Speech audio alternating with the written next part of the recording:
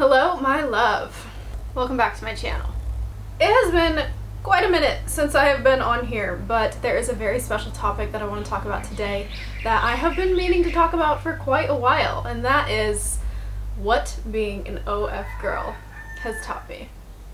I'm really excited to get into this subject because I've been doing OF for a very long time, like four years now, and it's been my main income source for literally those four years. And I've learned a lot throughout the different eras of the platform and also like as a person as I've grown as well. I started out when I was like, I think I was like 22, 23, and I'm 27 now. So there's been a lot of learning and growth that has come through and I actually have quite a few pinpoints that I'm going to go over in this video. So thank you for being here. I'm quite excited to get into this video. Let's just jump on in. So the first thing that I actually want to talk about and what being an OF girl has taught me is that who you are now deserves to think about your dreams and goals and aspirations five years from now. For example, saving, having a purpose, and creating a future. So something that I learned recently, and this is kind of something that actually sparked this video, is that there's actually a lot of girls that look up to me and have been watching what I've been doing for several years and I think that there's a few things that really need to be thought about before any of this. Now I want to, before I continue to dive into this video, just kind of like say, really think yourself through. Like if I could give you any advice on whether or not you should forward yourself on this path, think it through. like ensure that every step that you're doing, whether this is in the path of your career or in your dreams or no matter where you're going, like really ensure that this is something that like aspires with your light and who you are and who you want to be in the future. Um, if you don't know who you want to be in the future, take the time out of your day to really sit down, maybe journal and do some prompts to just see like who you do want to be in the future. Like, if you were to look at yourself or get to have a conversation with yourself five years from today, who would that person be? And would that person be someone that you were proud to become? Some of the best advice that I ever received in my life was back when I used to work a 9 to 5 job, which is so crazy to even think about. But I used to work at a call center and I worked there for like three years, a little bit over three years there was this one day, this was like actually what led me to quitting my 9 to 5 job, but there was this one day that we were sitting out and just sitting in front, like, the was he the CEO? It was the CEO or the owner of the company actually came out to like read a bunch of like aspirations and like have a huge conversation with everyone that was working there. And right before he went on stage, this other woman went on stage that was like his best mate or whatever. I can't remember exactly, it didn't really matter. But they got on stage and they were all like answering questions that people had put into this bucket. And the number one question that came out that was like asked often was like, what's your best advice? And their best advice, the person who got this question, was look at yourself and who you want to be five years from today. And if where you're at today doesn't push you in that direction, change. Change everything about your life. Change everything that resonates so that you can become that person that you want to be five years from today. When they read that question, my whole perception of everything shifted because I didn't want to be working at a call center five years from that day. I didn't want to be working at a nine to five. That wasn't my dream job. Like, and I didn't actually know really what my dream job was. Like I only knew like things that I wanted to do in life because I was so young. And something that's come up a lot for me as I've been getting older and like into my later 20s is that I've been realizing that being so young, you don't really think about like your further out goals or your 10 year goals and like maybe you kind of do or you have like an idea because like as you're growing up everyone's like ooh what do you want to be when you're older you know but they don't really like deep dive into it and give you the opportunity to get to know yourself to know what you want to be. And so that's something that I think is extremely important when it comes to like who you're becoming and how you're choosing to move forward on your journey. And this is actually something that I got taught along this like last five year journey because when I first started, I didn't know what I wanted in the future and I never sat down to like look at what I did want to become or who I wanted to become. And so the first few years that I was on this platform, I wasn't making or I wasn't saving any money and I wasn't thinking about a future me. I was just taking everything that was coming my way and using it to live the life that I wanted to live because that's what I thought about when I wanted like 5 years from today, what do I want to be? I wanted to be a model. I wanted to be traveling. Like I wanted to be into the tropics. That was like all I really knew because that's all I had ever given myself the opportunity to dream up for myself. And so that's what I was doing, like with all that money that was coming in, which was totally on my path. And like, but coming from that point to where I am today, I now recognize that five year five years from today me deserves to know that I was thinking about her. And she deserves to know that I have aspirations for her to do well later on in life or continuing through life. And so something that I've learned throughout this journey, this past like five year journey, is really just to put money aside, which is something that I just think is so important um, to create a savings account. I actually have several savings accounts now, but for the first like three years on this platform, I didn't. And just like dreaming up and imagining a future is so important.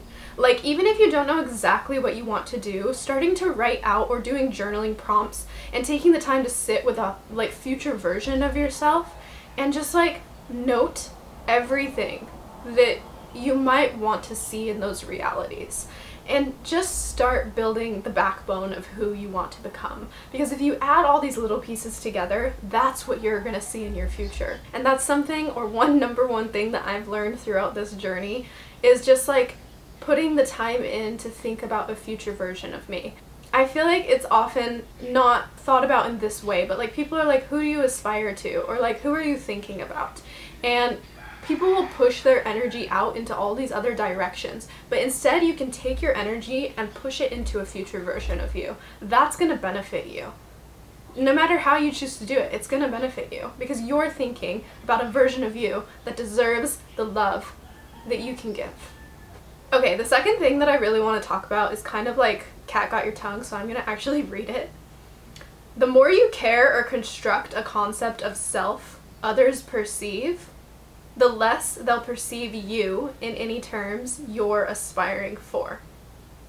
So let me break it down. Throughout this journey, this is a huge journey of self if you dive into it and it has a lot to do with social media and it has a lot to do with how you're going to be perceived especially in an online reality. The more energy you're putting into a specific sense of how people are going to perceive you which this is something that I really deeply struggled with and so this is why this is something that is so important to me and that I have learned so deeply. When I first started out on this platform I really cared what people thought and like coming into this journey, you really have to learn to let go of what people think because the whole world has such a bias about this platform and even just being so open and authentic in yourself and in your body and because of that you like you have to learn to let that go and not care as much.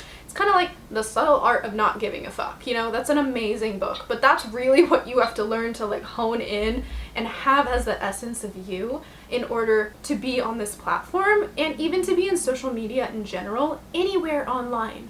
You need to care less. You need to be focused on how you feel about everything that you are doing and how you feel in the moment that you are also creating. In the beginning, I cared so much what people thought that I constricted everything that I did and everything that I created to a specific like era of what was allowed. I wasn't allowed to sh share like my full self-expression because I didn't want to be perceived in certain genres of certain things. And this is actually just because of my own bias. Like I grew up in Utah. I grew up in a place where it was deeply affected by religion and by perspective and by bias. And so I grew up with my own internal bias that I've had to work through for many years about what self-expression women can have in this world and how they can do that. And so that's my own issue, right?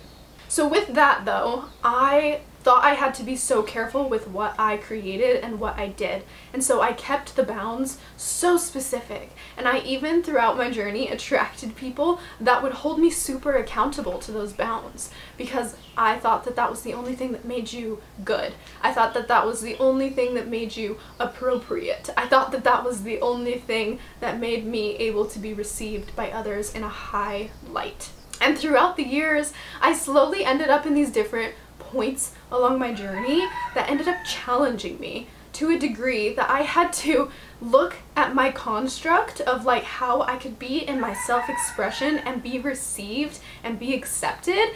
And I had to be like oh like I am allowed to have self-expression in any way that I want to have self-expression or that I feel in my body and in my heart and in my tapped in intuitive abilities to be in self-expression and by doing that, I was able to sort of look at my bounds and start to release them a little bit. And this wasn't just one time that this happened, like this was throughout my entire past like four year journey. And it would just like slowly loosen up a little bit, a little bit, a little bit. And I've gotten to a point where I feel more in my divine expression than I've ever been, but I still have that. Like I still see that within myself. And so by me saying the less that people are going to perceive of you based on how you choose to make people perceive you, I'm saying that you need to let it go. Like letting go of the bounds of like how you're wanting people to perceive you and instead just moving back into yourself and into your self-expression and your body and how you want to see yourself is going to let loose all the constructs of people perceiving you a certain way and instead they're actually going to start to give more opportunity or just space and freedom for people to then perceive you in all the ways you may have actually wanted them to perceive you.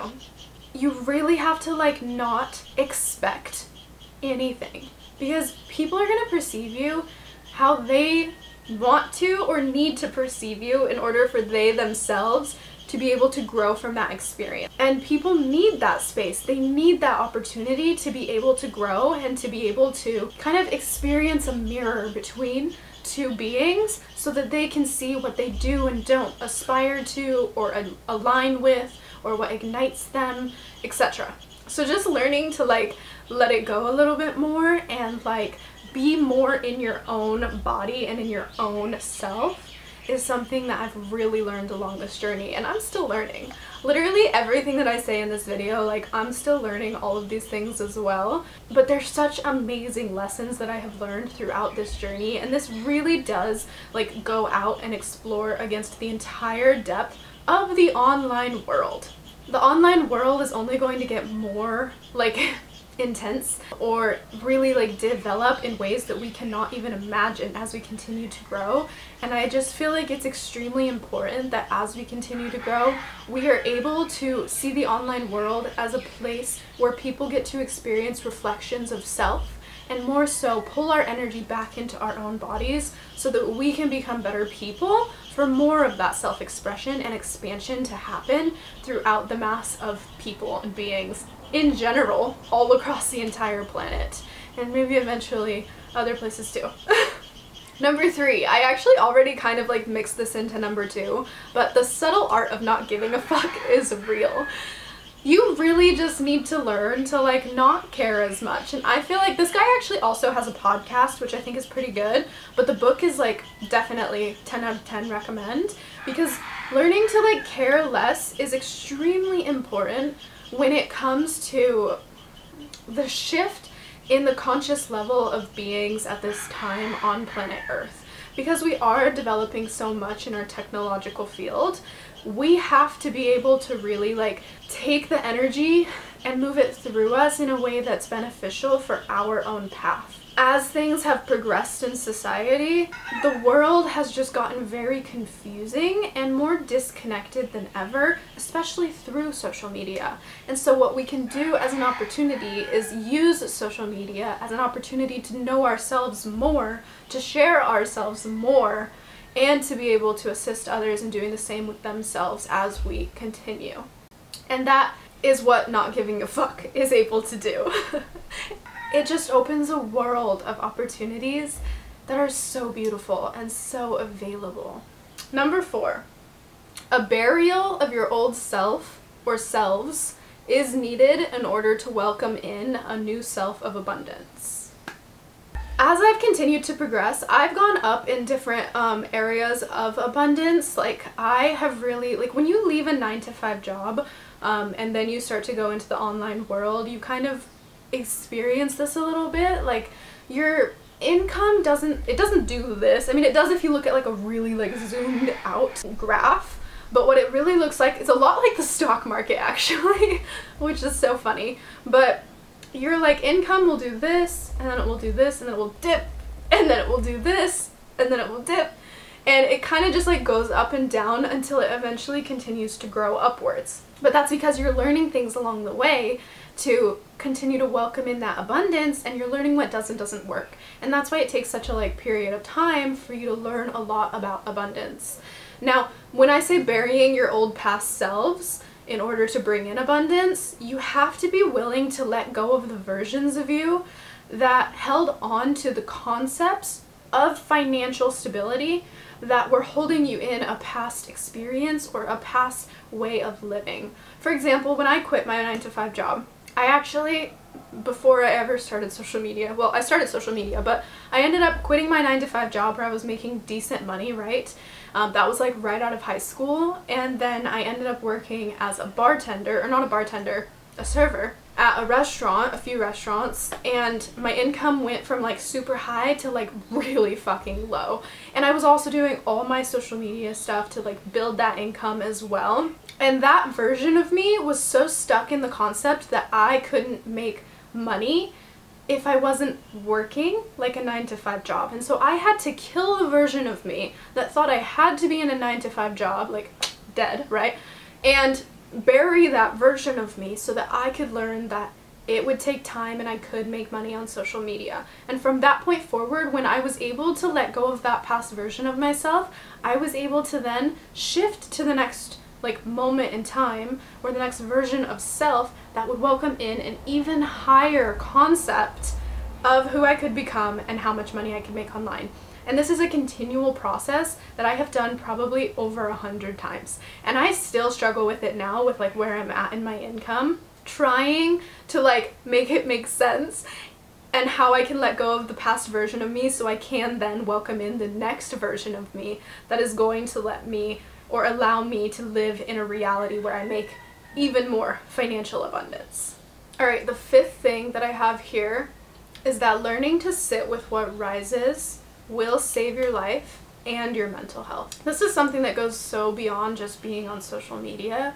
This is something that has actually genuinely saved my life and helped me expand as a person because the only way that you're going to be able to move forward in life and actually make a shift and actually make a change is going to be by sitting with what rises in your body. There's so many different ways that you can do this. I have hypnosises that you can get. Well, I only have one right now. I'm planning to make more at some point. But hypnosis is huge for this, just learning to like sit and breathe into your body. Breath work is another opportunity. Meditation is another opportunity. Being able to sit with the dark parts of you or the parts of you that you haven't really looked at or that feel so hard to sit with and letting them just come to the surface or breathing into them as they're coming up instead of like being so afraid of these parts of you that like need to be seen and felt so deeply it literally will change your entire life in a way that pushes you forward in such a positive light. Like this saved me because I used to ignore all the dark sides of me and everything that I'd ever been through or experienced or done that was so scary because I didn't want to look at it and I didn't want to experience it again. But as I continued on my journey, I was able to slowly learn how I can sit with it even little tiny pieces at a time, just like looking at these little moments or facets of my life or experiences in my life that were hard, were like, ugh, you know? That's like how it felt to even like think about it. But like by letting it rise and breathing into it, I was able to actually start to process a lot of things that I've been through or I've experienced, things that have been really difficult for me throughout time. And that stuff has like been able to then come up in my body and release out of my body, which has been so beautiful and has changed me as a person into this magnificent person that can now talk to you in this video because this girl did not exist when I was burying all of those things inside of me. Plus, this really like skyrockets your mental health journey because it gives you a way to move in a direction that can then let you do even deeper work of self, which is just such a gift that you can give to yourself over and over and over and over again. And it is so beautiful. All right, number six is that you will never be that version of you that you've been before. You are who you are now, and you can move from the energy that you've cultivated within moving forward. You're never going to be like an old version of you again, and things are going to continue to get better and better and better so long as you choose to be okay with whomever you are showing up as today and whomever is coming through in your essence today. There's a car, so I'm going to let it pass.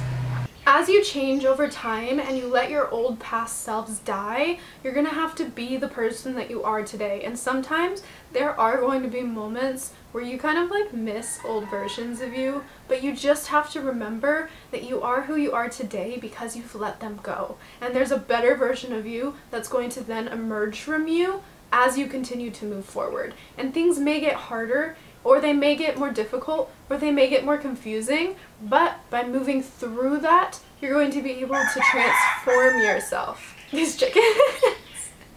and I just feel like that's so important. Like we all spend so much time reminiscing on these old versions of ourselves. And especially like for me, like I think about the days when I wasn't who I am today sometimes. I don't actually do this that often anymore, but I used to do it a lot. And I used to think like, oh, like what if I never did this? Like X, Y, Z. Okay, number seven kind of ties into this and it's that you really can have everything you've ever dreamed of. And I wouldn't have believed this if you asked my little 9 to 5 me because one, I didn't even know like what I really desired or wanted and two, I like didn't believe that any dream could happen. I had been very like pushed into the ground and buried to my neck down to believe that like I couldn't get somewhere, that I couldn't dig myself out. But you can. And I believe that anybody can. This is something that I really strongly like believe in. I think that you can get through it, but it isn't going to be easy. I mean, for some people, it might not feel hard either, I don't really think there's specific words to describe it. It's not just like black and white, you know what I mean? Like it's a lot more depth than that and, that's why it's like it's that's why people use the concept or the idea of like a spiral as you're growing. Like it's going to feel like a loop and then you come back to something and you're like, "Oh, I'm going in circles," but you're rising. You're rising as you're going in circles. And that's a lot of like what it is. It's never going to be like just black and white. It's going to be like this full three-dimensional experience because that's what we are. We are in the 3D until you hit the 5D. But by letting old versions of yourself go, you're then able to move yourself to a place where you can start to dream up the newer versions of you. For example, the visions that I see of my future now, like I never would have even allowed myself to dream five years ago or when I was at my normal job or my nine to five job, whatever. I wouldn't have even thought that I was like good enough to do that because along my journey I had to do so much self-work also and work really deeply into my self-worth which was actually probably the hardest thing on my entire journey and still is to this day let me remind you, it doesn't just end. You are always working on your self-worth. You are always transforming. You are always pushing yourself further. It's actually a really beautiful process and you will learn to love the process or you'll learn to appreciate the process if you don't love it. And it'll be worth the energy that you put into it because you'll get to watch yourself transform into the person that you really always wanted to become. This one's really good. Number eight. People will show you exactly who they are jealousy, unfair tendencies, judgment. You will face all of it. And you will be better for it. This one is a huge theme that comes up. Like as I started my journey into this platform, I really watched people start to perceive me in a different way and I started to get people perceiving me and projecting onto me and people still do it today so many things that were actually like their own biases and their own experiences and uh, their own like perceptions of what things were that they could work through in themselves. And as I continued on the journey, I started to notice it more and more and like really start to understand a bit more of what it was. But like that stuff comes up more and more and more as you rise as a being. It's not just like if you're in this journey on this platform, it's like all throughout life or in any way that you choose to rise, you're going to experience this, you're going to witness it, and you're going to watch it happen. You're going to see people that you never thought would act in a certain way or come onto you in a certain way or project onto you in a certain way and they're to do it. They're to throw stuff at you. And these things, you're to be like pretty challenged by them and also given an opportunity